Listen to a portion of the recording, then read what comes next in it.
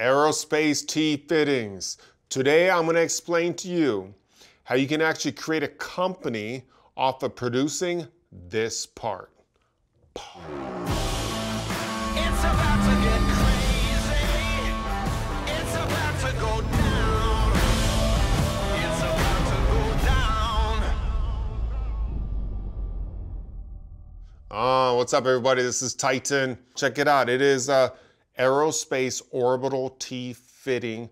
You got elbows, you got different types of shapes, and uh, it's a normal part that we see throughout many industries, right? You can order them from the catalogs made out of 316 stainless, and especially in aerospace. I've machined a million of these things, and I mean it, a million of these things. You know, parts that can't just be ordered online, right? These are specialty parts. They're out of specialty materials, and they have to be designed specifically to the engineer's specs, all right? So let's talk about it a little bit. All right, so therein lies the problem, right?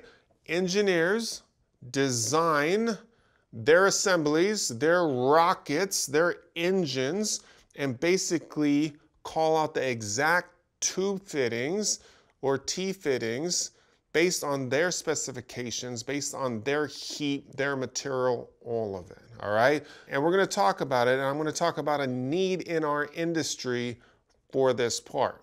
Before I get started, I just want to invite you, as always, if you love what we're doing by bringing forth that education, please subscribe to our channel. If you love this video, hit the like button. If you got ideas on future videos, put them in the comments. You might see it in a future vlog. All right, so check this out. This is a part that I've been actually making for years for all different types of companies, okay? So it's an aerospace part, but I can show it because they all make the exact same part, all right? Usually, when I get a print for this guy right here, I'll actually have a million line items and they'll be calling out different tube sizes, okay? So part A might have a three quarter diameter up here, but then it has a quarter and then a three eighths over here based on the assembly. Part B could be a quarter inch tube, quarter inch tube, quarter inch tube. Part C could be a 3 eighths, quarter inch, and 3 quarter, right? So depending on the assembly, they keep changing. Now, why can't these high-end engineers actually just order these online since there's a million of them? Because the majority of them out there are actually made out of like 316 stainless, copper maybe. They're made from different materials, but where the money is, is in making them out of titanium, A286, Inconel, right? Hard nickel alloys based on applications, based on sizes, based on tight, tight tolerances, right? And this is the real world. A part like this, I'm not gonna name companies, but a part like this out of Inconel would often go for $500, $600, $700 just for a simple part like this. Because the tolerances, the, the ID to the OD to the relationship, all of it has to be absolutely perfect. And one of the problems in the aerospace industry is that they never get ahead. So you always have these engineers and they actually order the parts five at a time, 10 at a time, 15 at a time. And if you have to set up for an Inconel job like this and go through the entire inspection process, there's a lot of time in that setup right? But the engineers and the buyers need their parts, they need it now, and they're willing to pay the money all right? So my company, Titans of CNC, we keep getting quotes for these parts made out of hard metals, and we turn them all away. If I wasn't going into education, if I wasn't going into teaching all of you how to actually manufacture and how to compete in this trade, I do have some ideas about how to actually go about making this part, okay? And I'm gonna share those with you right now. See, T-fittings and in orbital fittings and elbow fittings, they're all huge in this industry. Let me just say real quickly that's one of the reasons that we have a teaching series on Titans of CNC Academy that you guys can check out for free. So, check this out. It is not a T fitting, but you can see it has the same tube and then it has a port. All right. So we wanted to create a series for aerospace. There was kind of like, you know, it was complicated, but not too complicated. And I was like, you know what? We make a million fittings. Let's go do a whole series on fittings and call them aerospace connections. All right. So you can see that in the education drop down and you can see a bunch of parts just like this, where we actually change it up a little bit. We show you all the dimensions on the tubes. Well, when it comes to the ports, you actually find out all the numbers and inspection numbers by going into the actual AS spec, meaning a document that has each port called out and shows you the port, shows you the thread, and shows you the exact tolerances, all right? So now with this series, you're working like real machinists who are actually making parts for real aerospace companies because a lot of times this is exactly how it's called out. All right, so enough on the plug and the academy and the things that we're doing to teach you guys and take you to greatness. Let's talk about this part right here, right? Look, this one has chamfers, this one doesn't. They're a little bit different, different wall thicknesses. It all matters, and that's why there's a huge need for these custom tees.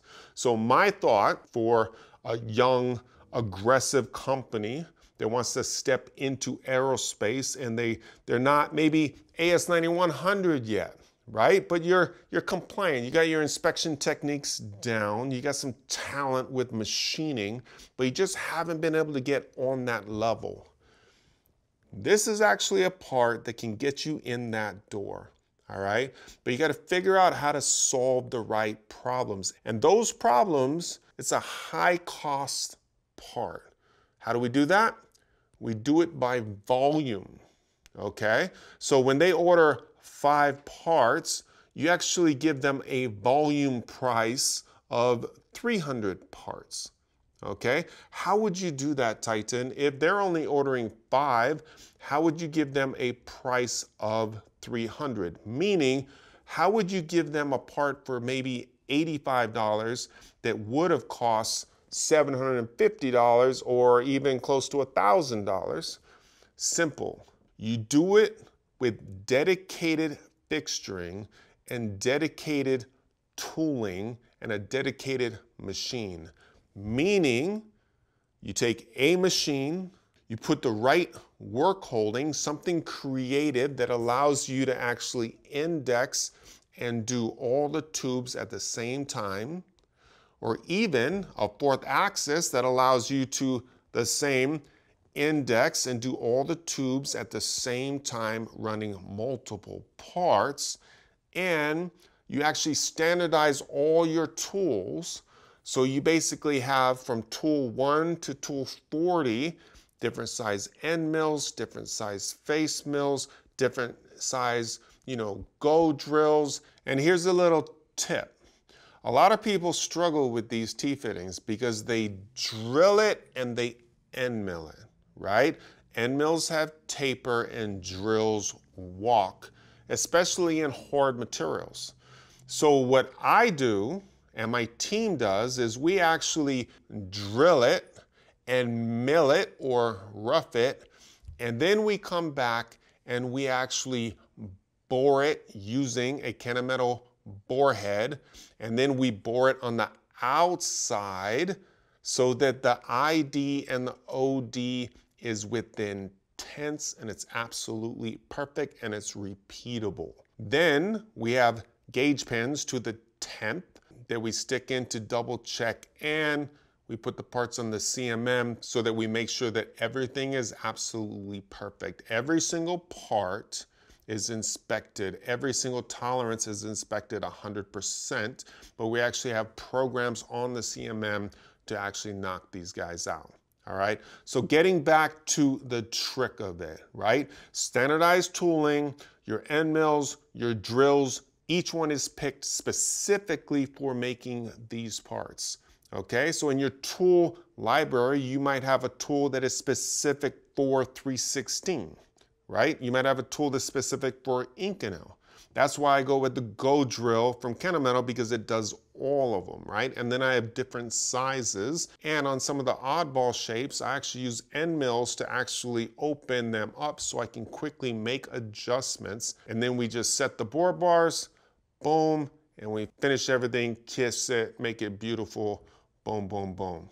Now the whole point with dedicating a machine, dedicating all the tooling, is basically you're taking a chance, you're stepping up, and you're trusting in your ability to actually make these parts efficiently and have material on hand to actually run nonstop and take the setup out of it, take all the brain work out of it. So then you can actually go to your customer and charge them for the runtime alone. So figure out how to take the process of machining, streamline it, take all the setup out, take all the brain work out, machine it efficiently, do all the different types of materials, be able to change on a dime as far as adjusting sizes, have your inspection perfect, and have samples of all the different types of fittings out there and in different materials from stainless to titanium to Inconel, A286, all of it.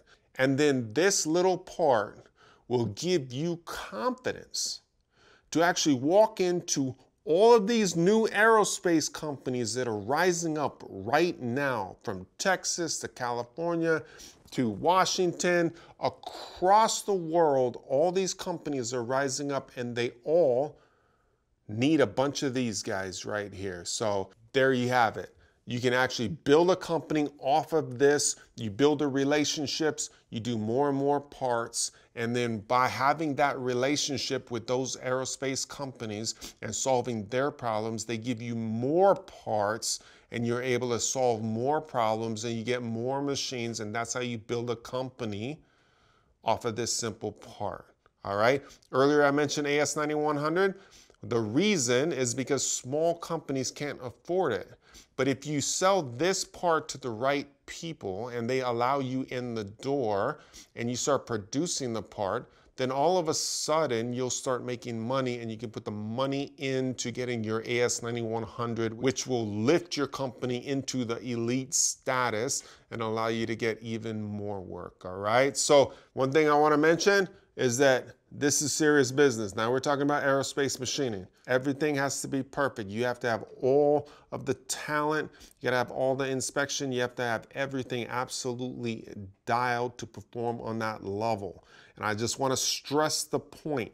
This industry is not easy, but for the few that are amazing, that can truly satisfy the customer's needs, the door is open to the dream, right? There's a lot of people failing out there. So if you have the key to unlock that secret and figure out how to make parts efficiently, you can have an incredible career. And right now, aerospace is going from 800 billion to 2 trillion, 3 trillion. We know how to make rockets. Like there is so much opportunity coming our way right now. So figure out a problem. Maybe it's not this one, maybe it's another one. Figure out how to solve those problems. Go solve them for the right people. Sell yourself, sell your talent, sell your skills. Take care of that customer because if you don't, somebody else will. And you can have an amazing future in this trade, all right? But it takes hard work, dedication, perseverance, all of it. And there you have it a little bit of personal and sincere advice from someone who's been in this trade for a long time, who's been able to work with the top aerospace companies, and I know what they want and what they need. And if you're never gonna go into aerospace, hopefully you learn something from this video. Solve the right problems and you can make money.